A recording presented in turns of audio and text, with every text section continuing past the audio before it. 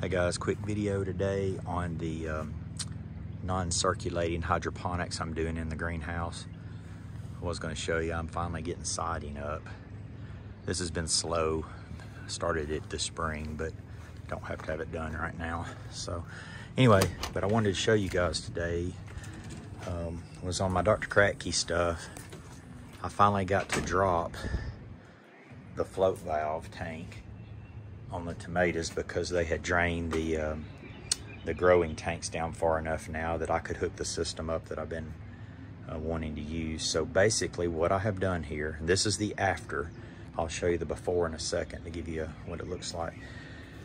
I use this little, um, basically, I used this little polystyrene foam and I know when that got down to a certain point, which was roughly that line, that I had drained these tanks far enough that I could drop my float valve and actually hook up my nutrient solution, which is in the garbage can, and that will feed the float valve, which then in turn feeds the tank and keeps the water level about right there all summer long instead of, uh, you know, me having to pop the top and trying to fill this thing.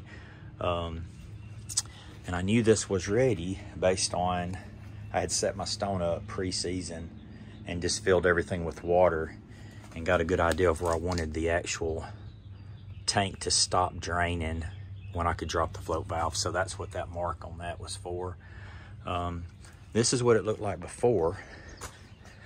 So basically the, vote, the float valve tank, you know, you have to keep it raised up while your plants are getting uh, the grow tanks drain down to a certain level. Same thing on the cucumber, it's not ready. A little different system there, but same float valve tank. This is what the float valve looks like.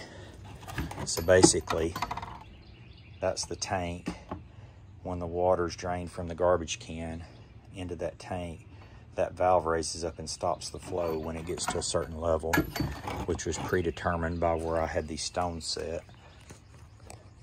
So that's the, that's what it looks like now. If I drop this tank right now, here's what's going to happen.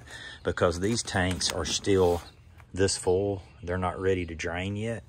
I mean, ready to drop yet. If I drop this, you'll see that I start getting water from both tanks backfilling my float valve. So basically what would happen right now is it would flood my float valve tank because these tanks are still too full. They hadn't drained down far enough. Same thing on that tank. So today because the tomatoes had got their level drained down, I was able to go ahead and drop the float valve tank, hook it up to the garbage can, which has the nutrient solution in it. Here's what I did. Uh, I mixed this in separate five gallon buckets and poured it in. So this is 15 total gallons of water, okay? You're shooting for about a 2.0 solution right now. I was jumping earlier between, yeah, 1.8 to 2.0. So I'm about where I want to be. I could add a little more nutrient solution if I wanted to, but I think that's going to be good right now. Um, my ratio was I put 42 grams of master blend in a five gallon bucket of water, mixed it up and poured it in. I did the same thing, 42 grams of calcium nitrate, mixed it in a five gallon bucket of water, poured it in. 24 grams of Epsom salt, mixed it in a five gallon bucket and poured it in. So that's the ratio if you're using 15 total gallons, which is what I used. Obviously, if you're only gonna use a five gallon bucket for all three solutions, you'd have to decrease your grams, but that's, that's what these are growing on right now. Okay, I just based it on, these are 22 gallon grow tanks. So when I initially, initially filled them, I obviously divided out and did it for a 22 gallon tank. But this is what the system looks like. And then I've got a shade cloth here that I'll go over the garbage can and the float valve tank just to kind of help keep the temperature down. Um, so you can see, I mean, these weekend pots were planted a week earlier.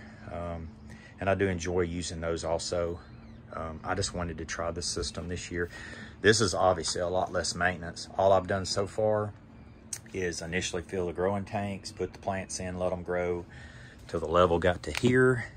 Today, that showed me that the water had dropped enough that I could drop my float valve tank, hook it up, add the solution and I ought to be good for at least, I figure two months on 15 gallons. Um, it may drain a little quicker than that as it starts to bear fruit, which all I have to do, come in and add whatever, five gallons at a time or another 15 gallons here, no big deal. So, uh, so this is a no maintenance system roughly. This, you know, I have to water about every five days. I have to fill those up and add a little fertilizer. Um, but this is the after, except it'll have the shade cloth. This is before when you're waiting on the plants to drain the grow tank down to a certain level.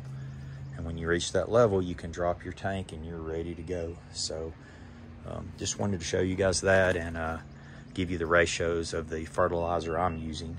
Um, just hoping it helps somebody.